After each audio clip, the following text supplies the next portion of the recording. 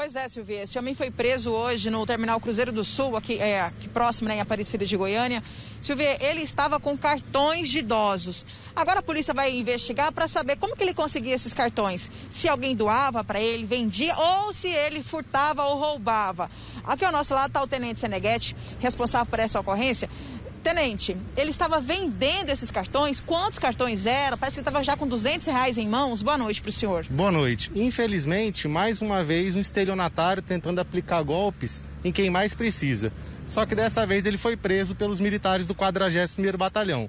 Após denúncias de pessoas que estavam no local, informando que esse indivíduo e mais um comparsa estavam pegando cartões de idosos aqui de Aparecida de Goiânia e Goiânia e revendendo de forma ilegal no terminal, os militares do 41º Batalhão prosseguiram até o local, de plano realizar a abordagem e a prisão deste estelionatário.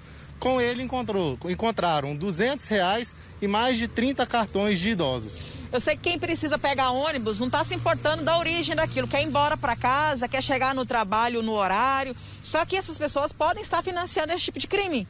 Isso, inclusive este estelionatário já possui uma extensa ficha criminal e foi preso em flagrante, não sendo possível arbitrar a fiança, já que a pena do crime de estelionato não permite ao delegado arbitrar esse tipo de fiança. Ou é. seja, ele vai ficar preso e vai aguardar a audiência de custódia.